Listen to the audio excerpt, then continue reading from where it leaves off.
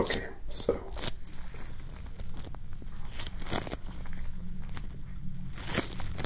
whenever we proceed to clean the skin, both topically on the surface or a bit deeper underneath, being hygienic is the most important thing. That's why, well, there are a number of reasons why you shouldn't use your bare hands clean wounds, and especially not spots or blackheads or zits or whatever. So what we do first is we take some alcoholic wipes.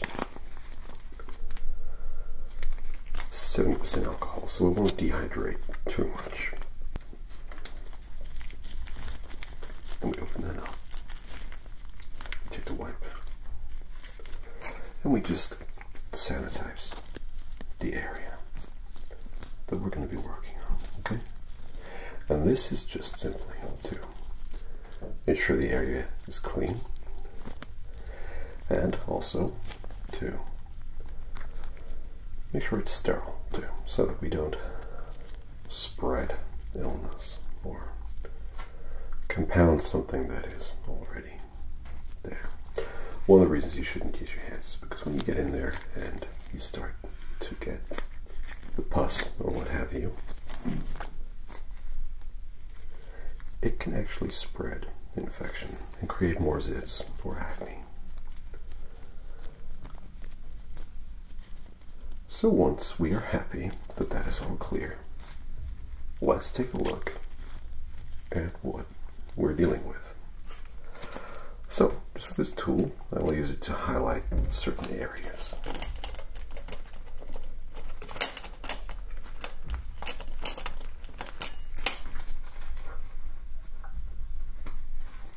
Now you can see some areas are more depressed or receded than others. What we're going to concentrate on first is dealing with the ones that are less receded.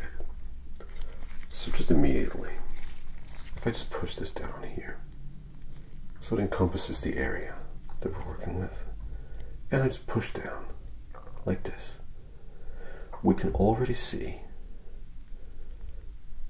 that we are getting some results. Okay? Now, as mentioned, we don't want this nasty stuff to spread around. So when we work in an area, we're going to be very careful that we scoop it out and that it doesn't travel to other pores or other areas where it could cause trouble. Okay? So we're getting deep in there. Let's try something. Hold on a second.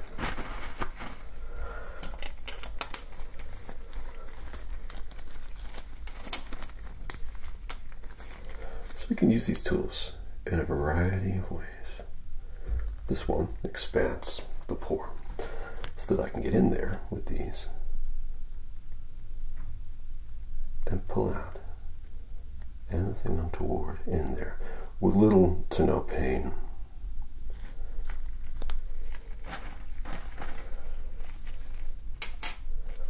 So responded.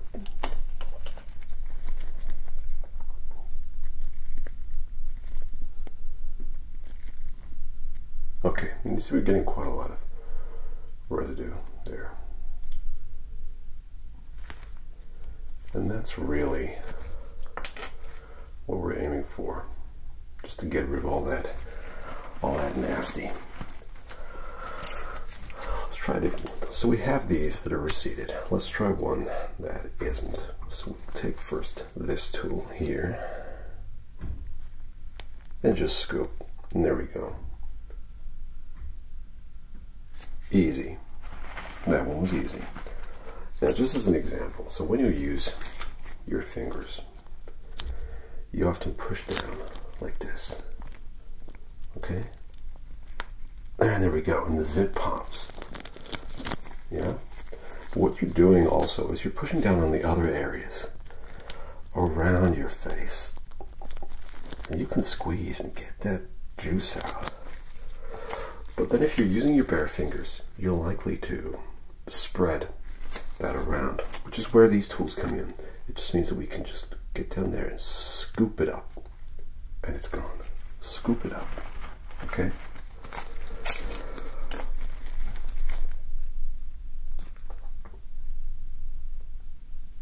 And we can just take a look in there as well, you know?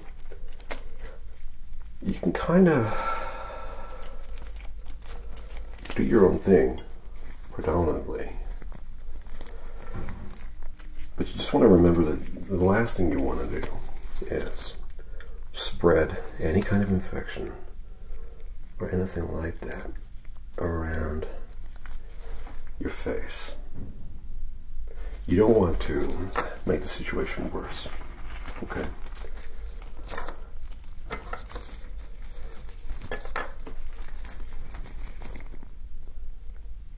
And there, you see, look at that.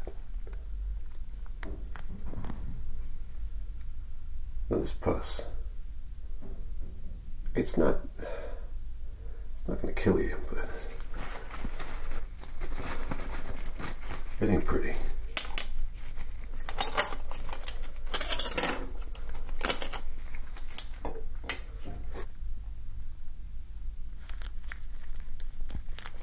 And just as an example, again, I am just going to use my fingers to pop a pimple, okay? But the force required, your dermal layer, is quite intense. It's quite a lot of force. And if you think that you're essentially squeezing your skin on skin like that, it can bruise and it can damage your skin. Let's get a bigger one than that. Let's use the big daddy one? Scoop it up. Scoop it up. Okay. Again,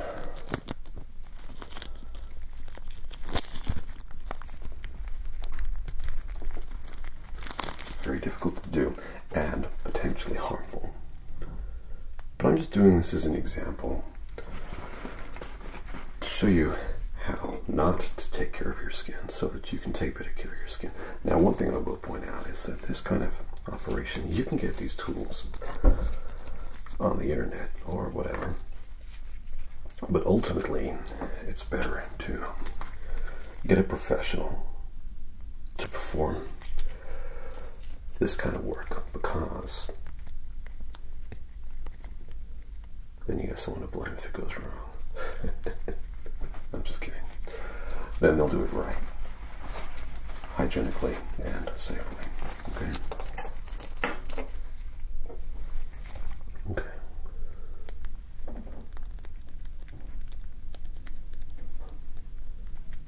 And scoop. And we missed it. That's okay. Go back in for seconds. okay.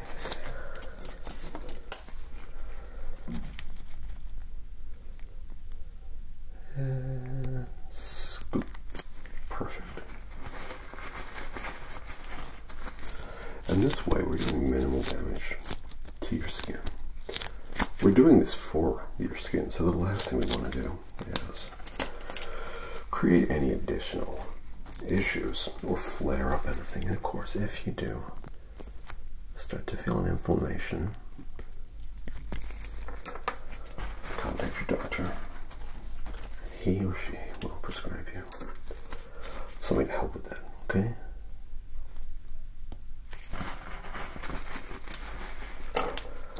Don't do it alone. That's what I'm saying. Don't do it alone. You don't have to do it alone. You know, there are lots of services out there.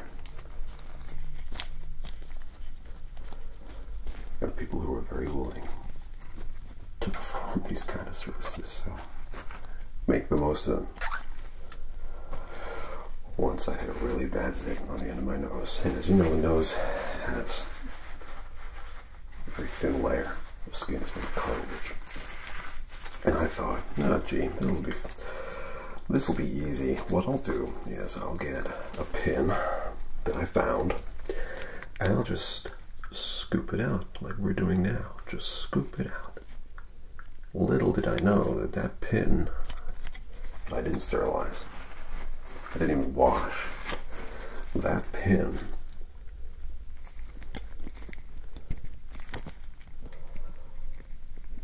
was covered in dirt. And guess what? I got an infection.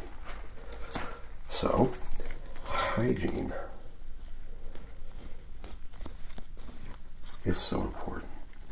And not just skincare, but general well-being as well. You know, wash your hair, wash your hands after going to the bathroom. Okay. and ah, there we go. Look at that. That's coming up big time now. So let's let's deal with this. Scoop.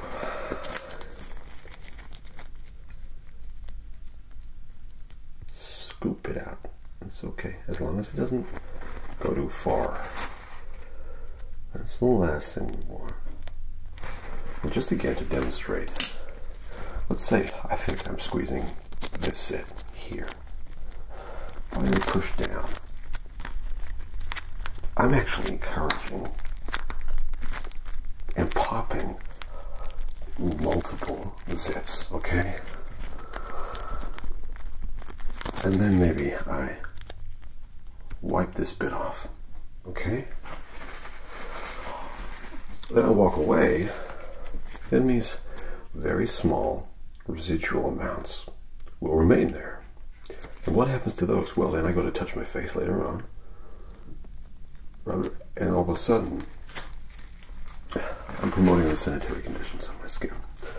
So it's very important that we do not do that. Agreed? We just get in there right away. One, two, perfect. Good. So it is very important.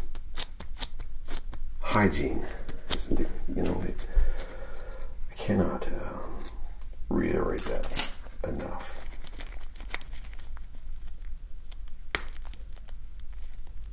Good old pop on that one. Popeye the Sailor Man, look at that.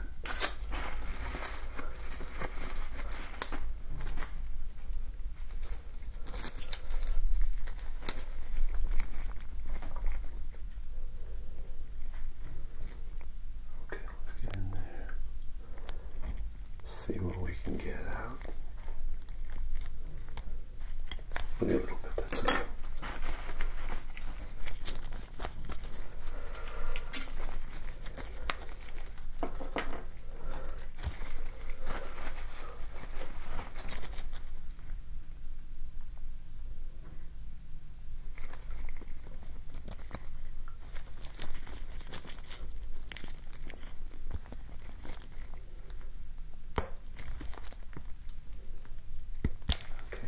Good.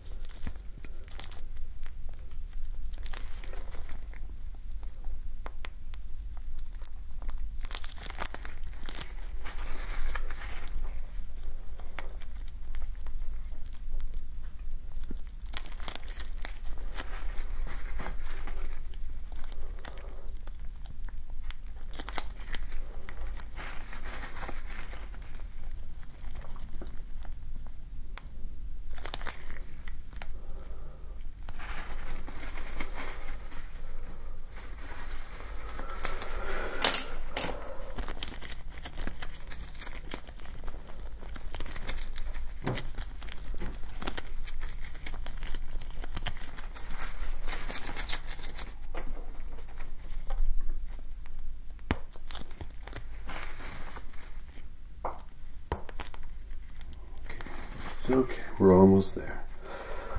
Almost done.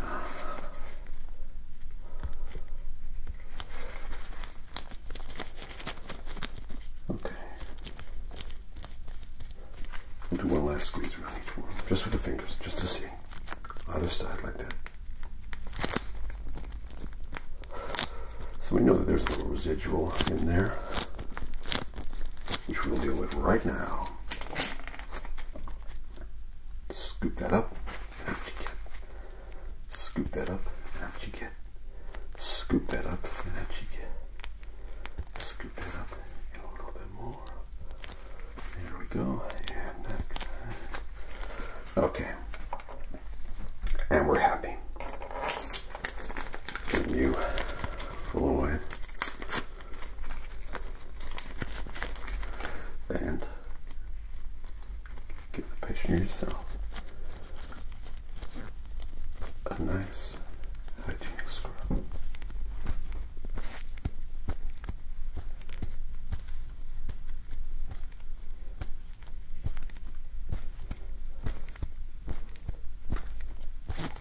Oops. And there we go.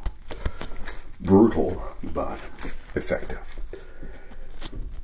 And remember, if you ever want to deal with your blackheads, go to a licensed or practicing dermatologist or see your doctor or just someone who's an expert. Probably not me.